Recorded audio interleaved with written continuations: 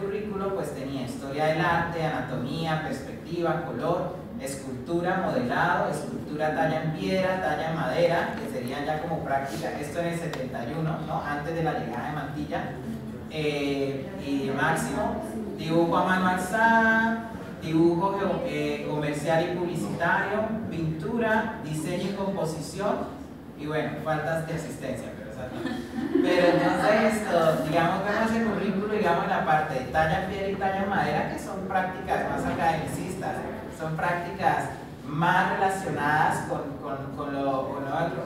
Y entonces, este, esto, que, que es muy importante decirlo, se encontró en un archivo personal. O sea, esto no estaba en alguna institución que lo haya almacenado, no. Esto fue porque por los encajes del universo, eh, Dago estudió conmigo, Dago me ofreció ese documento, incluso ya cuando, ya después de que había hecho esta primera investigación, y dije, bueno, esto comprueba lo que se sospechaba, ¿no? La formación artística. Eh, a partir de eso surge una hipótesis que la expusimos en el artículo de Esperanza Alonso y Raquel Ramírez, y es que había un currículo oculto en el en ICAS, eh, que pues uno puede ver lo que oficialmente se brindaba, pero lo que podía ocurrir en las clases digamos que dada la libertad que cada uno de los maestros y estudiantes tenían. Y eso lo confirmó Raquel Ramírez en una entrevista que le hizo Leonardo. Raquel Ramírez dice lo siguiente, esto está en el artículo. Eh, bueno, a mí ella dice, me correspondió otra época un poco distinta a la de Mario Hernández Prada, eh, aunque su impulso renovador se vio reforzado por el levantamiento, entre comillas, de Mantilla Caballero, y utilizo este término porque desde sus clases trató de obligar los viejos conceptos sobre lo que debían ser las obras de arte. ¿Sí? O sea, de todos modos, eh, en esa entrevista reconoce que Mantilla Caballero, al menos él, puede ser que haya otros, pero en Raquel Ramírez dice que al menos él fue uno de los que llevó a que se cuestionara la tradición de lo que era el arte en Santander en sus clases. Puede ser que haya pasado en otras clases otras cosas. Eh, ah, pero Roger iba, Roger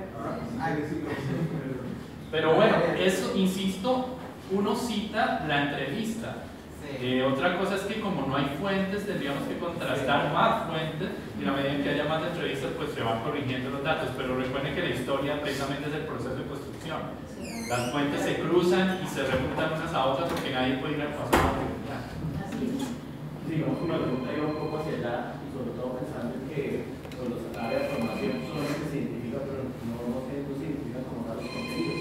Digamos que en la, en la revisión que ustedes están haciendo pudieron hacer un poco la comparación de eso que se alcanza a insinuar un poco en las asignaturas tanto de, digamos, lo que puede encontrarse en SAC con la producción artística, o sea, como para hacer esa regulación de fuentes y empezar a ver hasta cómo lo que hizo Martín de ese currículo oculto o, o de las evidencias prácticas donde todos los maestros directamente oficiar el proyecto de apuestas.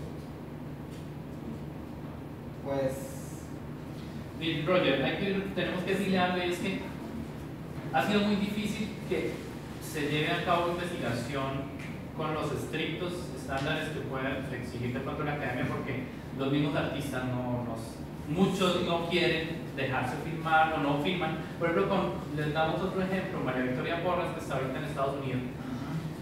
Fue muy difícil que nos resolviera un cuestionario. Todo era por teléfono, ella llamaba desde Estados Unidos y hablaba media hora y yo, buenísimo, pues que yo necesito que lo escriba y me firme una autorización de uso, porque es que una llamada telefónica a mí no me sirve para escribir un artículo. Ustedes saben que sin fuentes no pueden uno soportar. A mí me puede usted contar la historia del santanderiano en 10 horas, pero si usted no me firma un documento donde esa entrevista, usted se responsabiliza por eso, eso no sirve para nada.